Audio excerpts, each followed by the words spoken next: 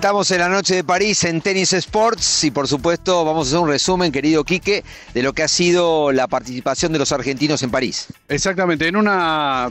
Realmente, no sé, es la primera vez que me pasa que durante dos semanas no llovió en lo que fue Roland Garros. Hubo un clima que realmente favoreció que estas pelotas, que son bastante pesadas, corrieran. Y eso también a los argentinos, que si bien no les molestaba, les aseguró por lo menos eh, un buen juego dentro de lo que fue su participación. Un Roland Garros que confirma que, eh, que tanto Tommy Echeverry como Fran Cerúndolo son dos jugadores que interpretan claramente lo que hoy el tenis demanda, el tenis moderno. Jugadores de tiros rápidos, puntos cortos, tiros ganadores, eh, mucha, mucha adrenalina, mucha intensidad y queda claro que ambos están para escribir historias importantes para nuestro tenis. Exactamente, mucha acción han prometido, prometían los dos y mucha acción fue lo que dieron dentro de la cancha.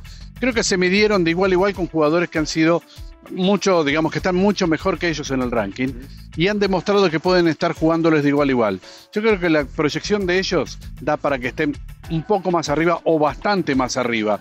El, juego tiene, como decías vos, Dani, tiene mucha intensidad, precisión, eh, velocidad y por sobre todas las cosas profundidad, porque si todo eso lo haces a mitad de cancha, se te meten y te castigan. Y además sumamos a Genaro Olivieri y Tiago Tirante jugando sus primeros eh, main draw en un gran slam, en lo de Genaro Olivieri fue una historia de vida extraordinaria, un Peque Schwartzman que recuperó algo su memoria, Nadia Podoroska que por lo menos ganó un partido y le sacó un set a Caroline Mukova.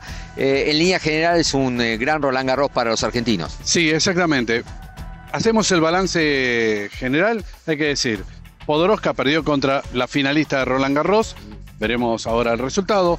Los argentinos llegaron bastante adelante, ganaron en su debut. Eh, eh, Díaz, Acosta también hizo su debut. Y si nos vamos, un también nos salimos de esto, eh, Horacio Ceballos hizo semifinal en dobles, ¿no es cierto? También, digamos, la actuación de Gusti Fernández, de María Florencia Moreno también fue muy buena. Y la del chico Caballo también realmente fue muy bueno. Un muy buen Roland Garros, en definitiva, para los jugadores argentinos.